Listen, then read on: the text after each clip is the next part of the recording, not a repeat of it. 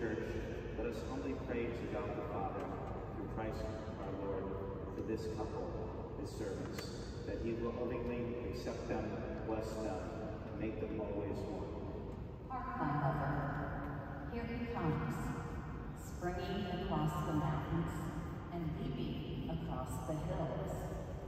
My lover is like a gazelle or a young deer. Here my lover stands behind gazing through the windows and peering through the lattices. My lover speaks and says to me, Arise, my beloved, my beautiful one, and come. O my dove, in the clefts of the rock, in the secret recesses of the cliff, let me see you, let me hear your voice, your voice is sweet, and you are loved. My lover and I belong to each other. We set as a seal on one another's hearts, as a seal on our arms. For stern as death is love, relentless as the heaven is devotion.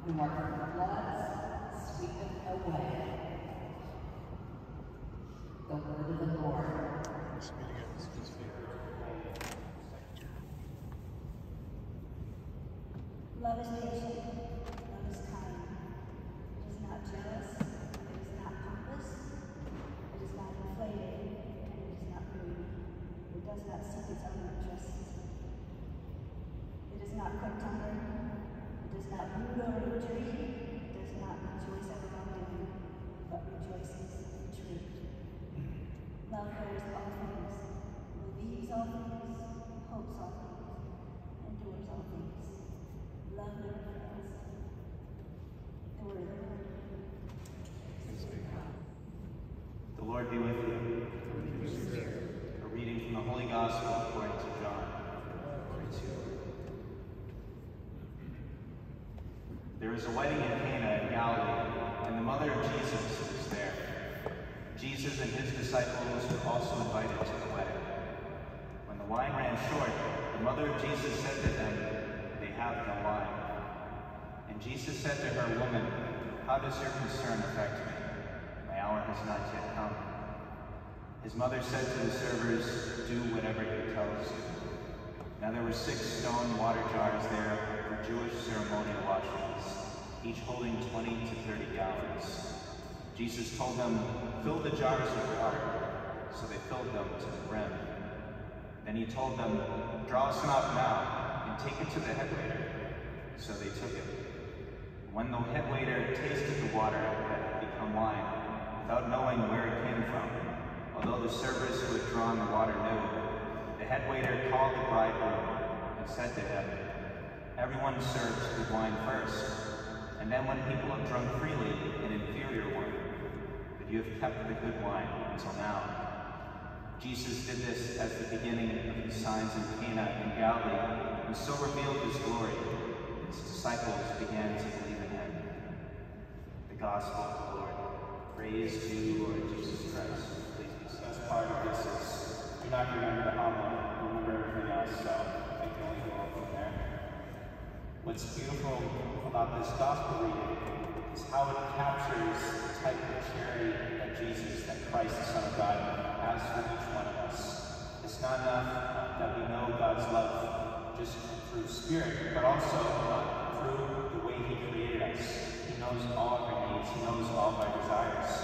And this is really a drama of the type of mercy that God has for us. Because first, in short, which tends to happen with the weddings last two weeks, used to uh, back in those days. And when the Blessed Mother of God approached Jesus to say they have no wine, and that response is, what is it to me?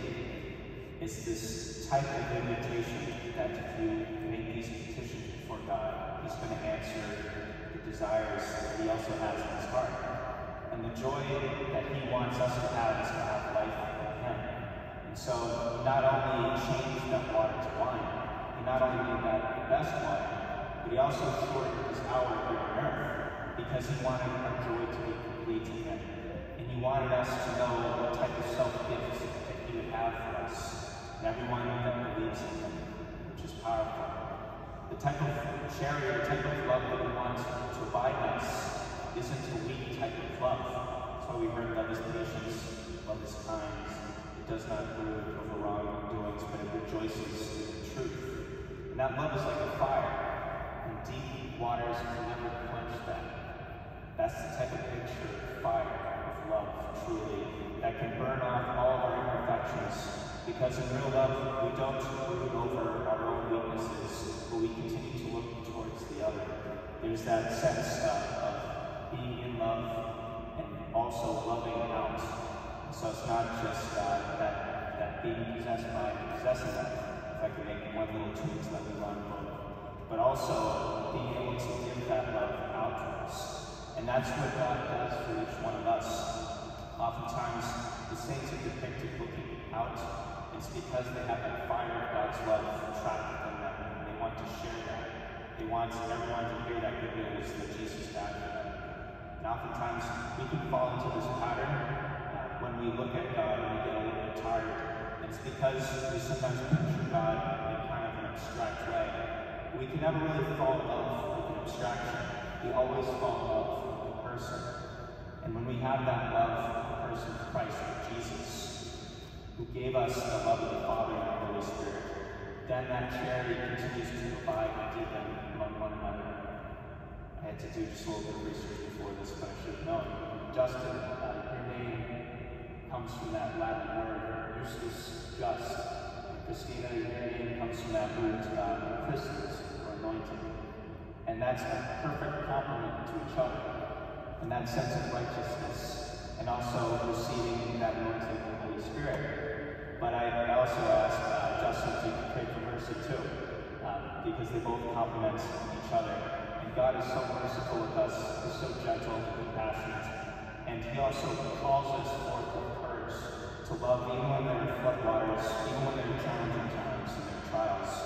And that's how we know that we continue to fall in love with God first, and we continue to receive that love and to give that love towards our spouse, towards our loved ones, towards our brothers and sisters.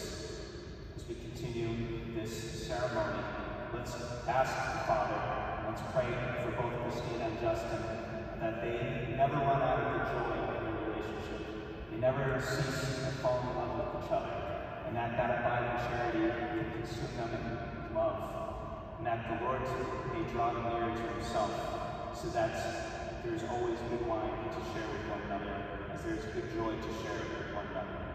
Hear my prayers every day. God bless you. Christ abundantly blesses the love that binds you. Through a special sacrament, enriches and strengthens those he has already consecrated by holy baptism, that they may be faithful to each other forever and assume all the responsibilities of married life. And so, in the presence of the church, I ask you to state your intentions. If you can come to the uh, sisters.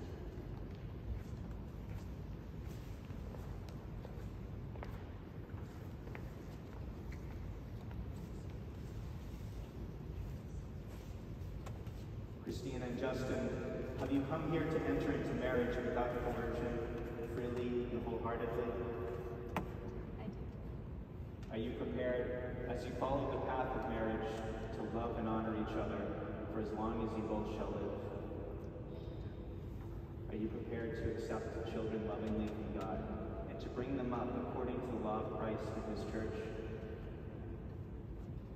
Since it is your intention to enter the covenant of holy matrimony, join your right hands and declare your consent before God and His church. Justin, repeat after me. I, Justin, I, Justin, take you, Christina, take you, Christina, to be my wife. to be my wife. I promise to be faithful to you I promise to be faithful to you in good times and in bad, in good times and in bad, in sickness and in health, in sickness and in health, to love you and to honor you to love you and to honor you all the days of my life. all the days of my life. Christina. I, Christina, Christina, take you, Justin, Justin, to be my husband. be my husband. I promise to be faithful to you I promise to be faithful to you in good times and in good times and in bad, sickness and in health, sickness and in health, to love you and to honor you to love you and to honor you all the days of my life. all the days of my life. May the Lord in his kindness strengthen the consent you have declared before the church and graciously bring to fulfillment his blessing within you. What God joins together, let no one put asunder. Thanks be to God. Now I'll bless the uh, readings.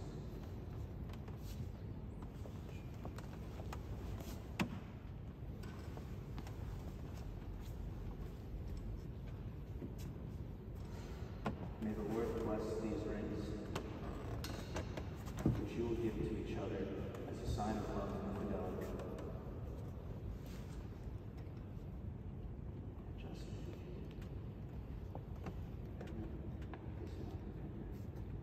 Just Christina, receive this ring.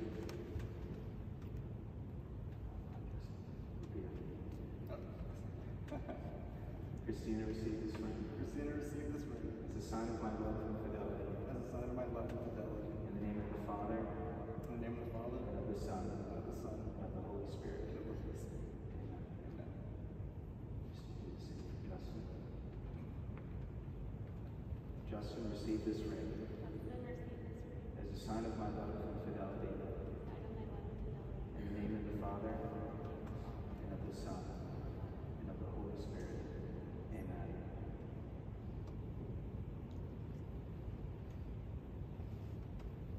Now you can stay there.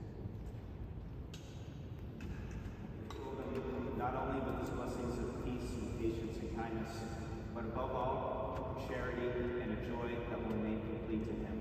We praise the Lord. We pray for Christina and Justin's families, as well as their friends, that the Lord may guide and lead them where they are meant to be. We praise the Lord. We pray for William Borchers, that the Lord has him close in the palm of his hands, continues to draw him deeper into the mystery of his love. We pray to the Lord. We pray for all those that work in hospitals and medical care, that the Lord may give them wisdom as well as compassion. We pray to the Lord. And we pray for those that are feeling isolated and in need of our support and prayers. We pray to the Lord.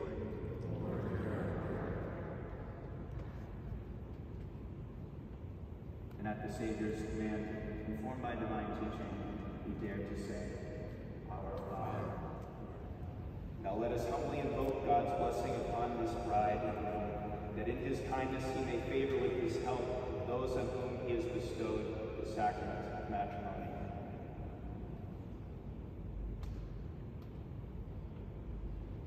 O God, who by your mighty power created all things out of nothing, when you had set in place the beginnings of the universe, formed man and woman in your own image, making the woman an inseparable helpmate to the man, that they might no longer be two, but one flesh, and taught that what you were pleased to make one must never be divided. O God, who consecrated the bond of marriage by so great a mystery, that in the wedding covenant you foreshadowed the sacrament of Christ in his church. O God, by whom woman is joined to man, companionship they had in the beginning is endowed with the one blessing, not forfeited by original sin, nor washed away by the flood. Look now with favor on these your servants, joined together in marriage, who ask to be strengthened by your blessing. Send down in them the grace of the Holy Spirit, and pour your love into their hearts, that they may remain faithful in the marriage covenant. May the grace of love and peace abide in your daughter Christina, and let her always follow the example of those holy women whose praises are sung in the scriptures. May your husband Justin entrust his heart to her, so that acknowledging her as his equal and his joint heir to the life of grace, he may show her due honor and cherish her always with the love that Christ has for his church. And now, Lord, we implore you, may these your servants hold fast to the faith and keep your commandments, made one in the flesh. May they be blameless in all they do, and with the strength that comes from God and from the gospel, they may bear true witness to Christ before all. May they be blessed with children and prove themselves virtuous parents who live to see their children's children, and grant that reaching at last together the fullness of years for which they hope, may they come to the life of the blessed in the kingdom of heaven through Christ our Lord. Amen.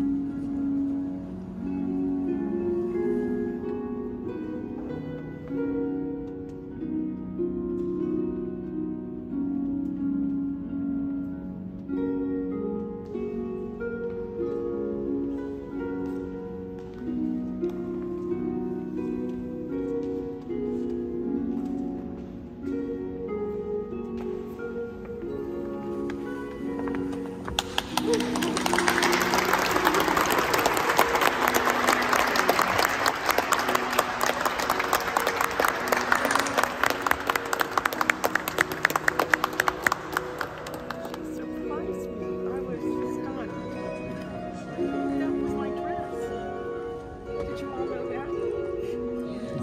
Yeah, it fit perfectly. It's fine.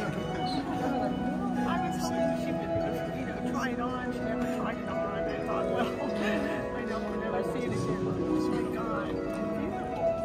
We'll just wait for your granddaughter